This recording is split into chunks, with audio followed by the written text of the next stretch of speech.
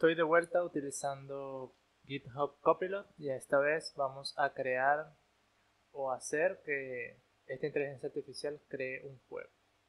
En esta ocasión estoy ya hice un escenario en donde hay dos tanquetas que son cubos, uno verde y uno rojo, el cual va a tener un punto de disparo. Yo con eso voy a idear eh, una inteligencia eh, prácticamente con NatMesh, en el cual vamos a manejar esos elementos. Vamos a crear los script tank y bullets. Son los que voy a utilizar. O realmente Copilot va a intentar crear código sobre ello. Entonces aquí tenemos el battleground. Eh, esta especie de, de suelo el cual tiene un NatMesh, ya está todo vaqueado, con los obstáculos y tal. Eh, están los obstáculos allí, cada uno tiene su NatMesh obstáculo y los tanques tienen NatMesh agent. Entonces, vamos a hacer que Copilot intente escribir eso. Primero que nada voy a hacer unas variables pública, unos campos aquí eh, globales en donde mejor utilizo transform. Y aquí me está intentando ya autocompletar pero no vamos a dejarlo autocompletar al inicio. Eh, como estamos utilizando NatMesh hay que, hay que hacer ah, eh, unityengine.pi y aquí ponemos también lo que sería el agents. Ok, ahí se me autocompletó el linter. Y aquí vamos a empezar que Copilot haga lo suyo. Aquí me autocompletó Copilot, ese es Copilot. Eh, el get components. Y le voy a mover a la wake. Y vamos a hacer un require. Un require. Aquí está y me autocompleta, sabe que es el NatMesh Agent. Bueno, es, es un poquito obvio eso. Ahora sí, vamos a hacer lo principal, el movimiento, ¿ok? Hay una opción en Copilot que uno puede escribir comentarios y él se va a guiar por lo que estamos diciendo en el comentario. Entonces vamos a poner eh, algo así como move the tank toward the target. Ok, algo así mover el, la tanqueta en dirección al, al objetivo pero también eh, cuando esté a una distancia. El 5F sería la, una distancia flotante. Y bueno, vamos a ver que nos completa. Ok. Si el objetivo no es nulo, Eh, aquí me pone la posición del target, me lo pone en una variable. Mi posición. La distancia con vector 3 distance, ok. Eh, una comprobación, si la distancia es menor a 5f, que lo detenga. Que detenga el agente. Y si no, que lo envíe a la destinación del objetivo está bien, eso lo hizo todo Copilot. Eh, imagino que en sus neuronas tiene dicha información o esa solución. Y me dice que el stop está obsoleto, entonces lo voy a cambiar por algo que no, que es is stopped. Lo ponemos en false, en true sería. Y aquí sería en falso, porque queremos que se mueva. Y listo ahí ya tendríamos el movimiento. Algunos ajustes que tuve que hacerlo y bueno borro comentario por si acaso.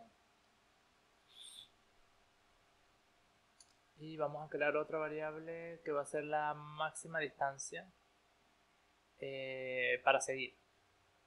Eso lo cambiaríamos por el 5f que está ahí ok esto lo vamos a a extraer a un método. Se va a llamar move. Y bueno, esto no lo tiene que hacer copy, este ya es prácticamente la refactorización que estoy haciendo yo. Ahora vamos a hacer el OK. Aquí me lo autocompleta el bullet prefab. Eh, prácticamente es lo que quería, hacer un... Hasta me le dio la mente. Y bueno, ahora vamos a crear el método para eso. Crear method eh, para disparar la, la, bala. Creo un método llamado fire en donde instancia la, la bala en la posición del, de este objeto. Que eso está mal. Ahorita editando el video, eso tenía que estar en el Firepoint. Cosa que no lo hice. Pero bueno, aquí lo estoy instanciando en la posición central del objeto. Y tendría que instanciarlo es en la en el Firepoint. lo estoy utilizando aquí. Pero bueno, aquí creo una variable para el tiempo que tiene que esperar para disparar y vamos a decírselo a Copilot. Eh, set a fire delay.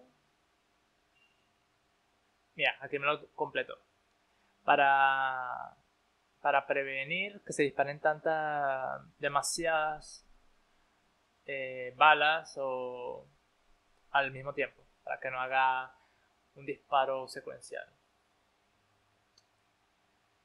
Eh, me da aquí varias soluciones. Presionando control enter puedes entrar a esas. Pero ninguna me, me convenció. Así que vamos a escribir otra cosa. Y bueno, me sigue autocompletando con una corrutina que no quiero utilizar. Vamos a ver otro con otra, otro método.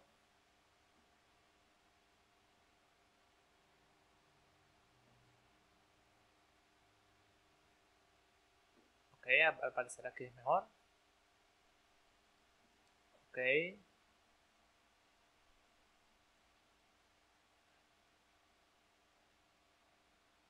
Ok, aquí crea, bueno, aquí está haciendo lo mismo de allá abajo. Y está utilizando ese target to follow que no sé por qué siempre me lo intento implementar, pero bueno, ahí está su solución. Eh, claro que aquí voy a modificar eso porque no me sirve así. Aquí sería...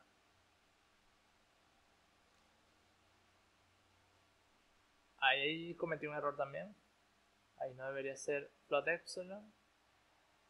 Eh, luego lo modifico, pero lo que no me importa es ahorita el, la instanciación. Y bueno, eso debería disparar.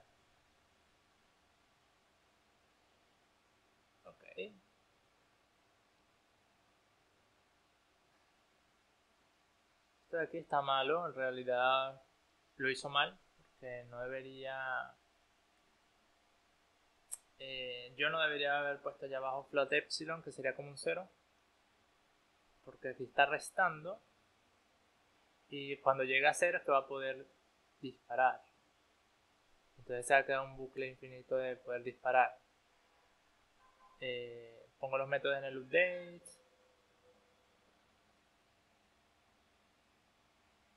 En realidad la, solución que hizo GitHub eh, Copilot allí estuvo buena. Solamente que le ponía muy poco tiempo, 0.5. Eh, allí tenía que poner el tiempo, el delay. Pero bueno. Estamos haciendo ahora la bala. Y aquí estoy colocando ya valores por defecto, si acaso.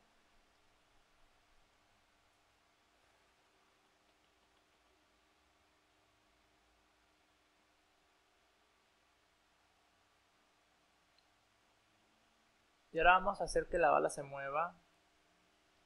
Ya incluso me la autocompleta. Move the bullet forward. Que sería hacia adelante. Y ahí está. Eh, está legítimo. Yo optimizaría un poquito con los paréntesis, el speed y el time delta time.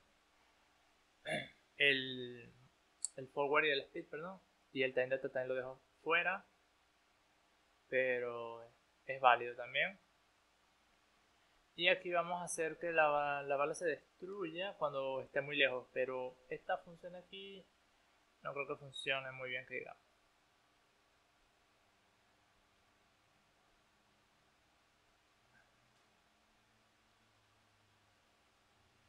el daño eh, lo, lo, implemento, pero, o sea, lo, lo declaro, pero en realidad no lo uso después. Lo dejaré para otro vídeo si se, para otro video si es posible.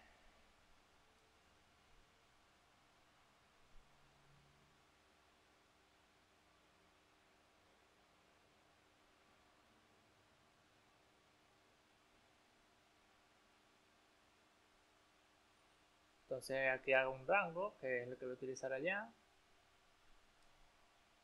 Y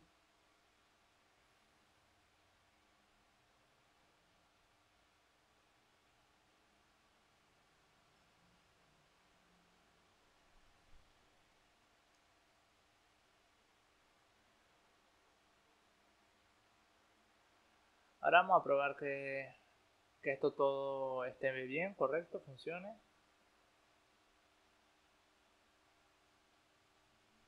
la consola y vamos a ver.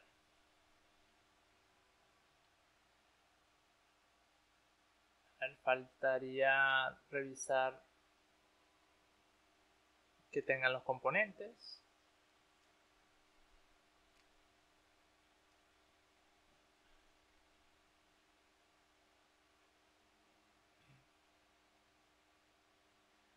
En el prefab para que se actualice para todos de una vez y de una vez le paso el, eh, la bala. Y a la bala le agrego el bullet y lo dejo así. Ok. Ahora sí al tanque rojo le pongo, le paso el tanque verde. Y al tanque verde le paso el tanque rojo. Y vamos a darle play. ahí van. Eh, ahí se puede apreciar en el, en el inspector en The Light of Fire que se está asignando cero a cada rato. Y eso es debido a que esto de aquí está mal. Bueno, esto de aquí también está mal. Porque las balas no se están destruyendo como tal, solamente se destruye un rango hacia el frente y bueno. Así que lo voy a cambiar a que se destruya así, hasta Wire. Y aquí me lo completa con Destroy Game Object a 2 segundos. Esto tampoco está muy bien, lo mejor sería utilizar un, un pull system, pero no quiero hacer más complejo el video y y eso lo dejaríamos para cosas más avanzadas con Copilot. Ahora, el problema del disparo, eh, que está aquí en Fire, es que estamos utilizando mal esos, esas variables. Así que aquí yo voy a poner una variable que se llama el tiempo de disparo.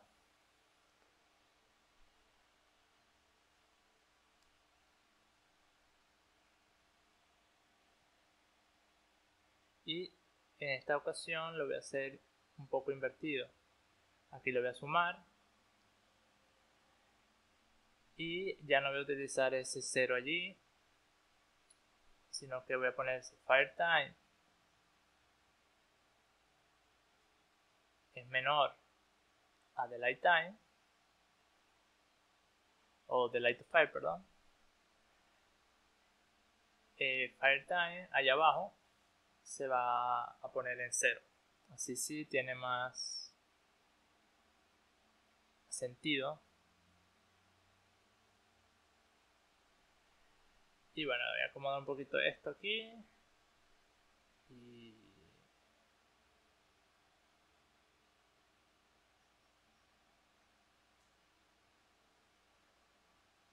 Ah, vamos a ver. Ahora sí vemos que se están acercando y empiezan a disparar desde un inicio, cosa que tampoco está bien. Pero ahora el disparo es más o menos controlado y las balas sí desaparecen con el tiempo. Llegan hasta un cierto tiempo y vemos que en, en la jerarquía se están creando y desapareciendo. Eso no es muy bueno porque tiene un costo de, de recursos un poquito elevado, pero eso no lo vamos a arreglar aquí. Le como dar la distancia de seguimiento un poquito más alta después, pero primero vamos a arreglar ese problema.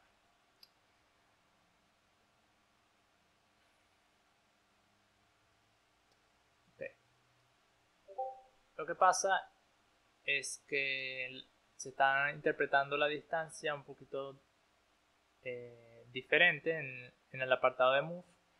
Y eso lo vamos a arreglar extrayendo la distancia entre, entre el tanque y el objetivo. Lo que tenemos que hacer es pasar todo esto de aquí arriba para acá. Y prácticamente regresar esa distancia cuando se necesite solamente entonces esto va a ser un return. Y ya allí donde dice distancia sería el método. Y borro todo eso de ahí. Ahora aquí en el, en el disparo quiero que dispare cuando cuando llegue, ¿okay? cuando esté cuando estén en esa distancia que separan, puedan disparar, no que disparen cuando se muevan. Entonces aquí coloco eh, sería bueno aquí está dando error porque debería pasar el target to follow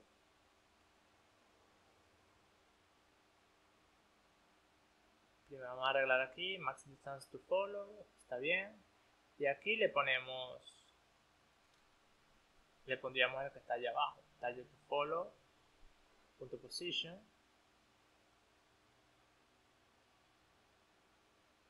Y esto lo podríamos poner directo, no es tan, tan necesario.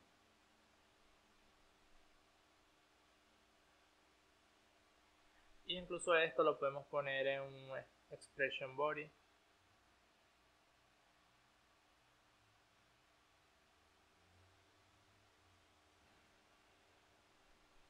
Esto lo vamos a poner más arriba. Y ahora, a ver. Vamos a arreglar lo del disparo.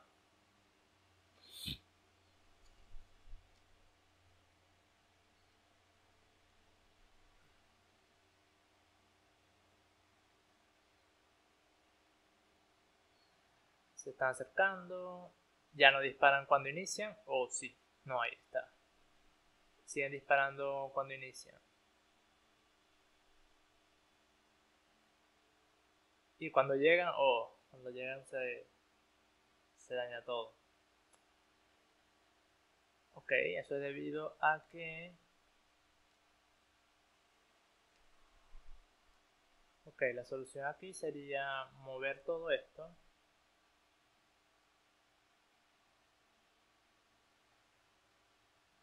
No, el SIF no creo que funcione aquí.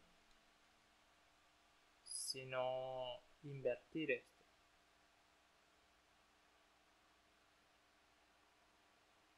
Entonces aquí hacemos el if.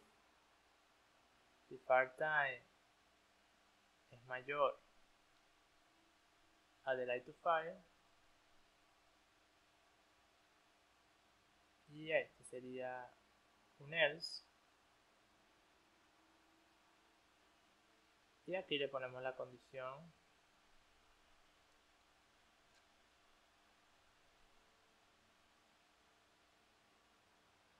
eh,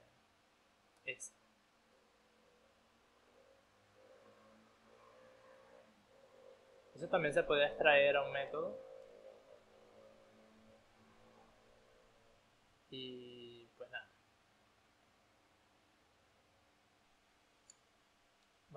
Vamos a poner un poquito más de distancia. 20. Y vamos a ejecutar.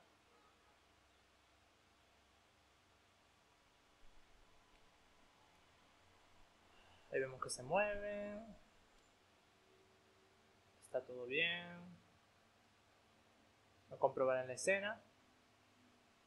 Se detiene en 20 de distancia y empiezan a disparar. Perfecto. Y eso sería el primer juego realizado por mí y GitHub Popular en realidad.